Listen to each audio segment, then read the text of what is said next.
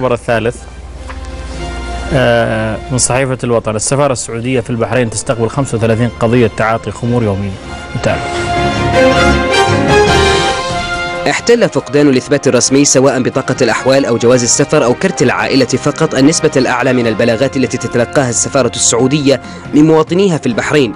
واستبعد مصدر للوطن وجود أي قضية إجهاض بطريقة غير رسمية للسعوديين مشيرا إلى أنه لا يمكن التدخل في مثل هذه الأمور إلا في حال وصول الأمر إلى الأجهزة الأمنية بشكل رسمي أو قيام المواطنة أو المواطن السعودي بطلب المساعدة أو تقديم شكوى إلى السفارة السعودية. وكشف المصدر للوطن أن متوسط قضايا تعاطي الخمور للسعوديين في البحرين والتي تصل إلى السفارة يصل إلى 35 قضية يوميا موضحا أن العدد ليس ثابتا يتغير من يوم إلى آخر.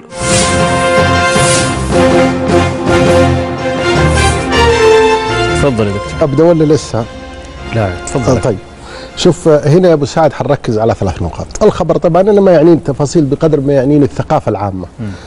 كلنا نعرف من حنا صغار يا غريب كن أديب. نعم. يعني أنت أول شيء المفروض تكون مؤدب في بلدك وبرا تكون أكثر ادبا لأنه أنت هنا ممكن لك ولد عمك بالمرور يطلعك وكذا هناك قد يكون النظام ما يرحم وانت تعرف دبي مثلا ممكن ولد من الأسرة الحاكمة في دبي ممكن يسجن إذا سوى مخالفه ولا شيء. فهذا موضوع الأول يجب إنه الإنسان حنا ما شاء الله الأسبوع الماضي علقنا السعوديين أكثر ناس يسافرون في الشرق الأوسط فيجب إن نفكر أول شيء في يا غريب كن أديب.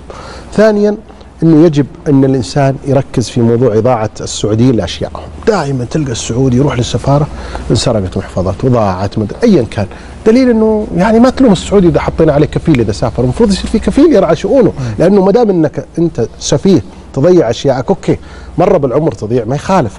والله قلنا عندك زهايمر تنسى الأشياء لكن باستمرار وبالذات عند الجوانب النسائية.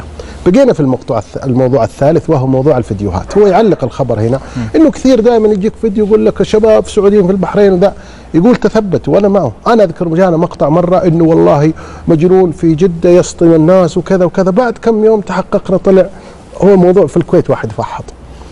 كل اللي أتمناه جماعة الواتساب إنهم ما يستعجلون في نشر الإشاعات وإنه مو معقول يا أخي. في ناس عندنا يا أبو سعد في تشفي في نشر الأخبار السيئة، يعني أنت مثلا ترقيت أو صرت مدير روتانا ما حد يدري، لكن لو إنك صدمت لا سمح الله وانكسرت رجلك كل الناس تدري.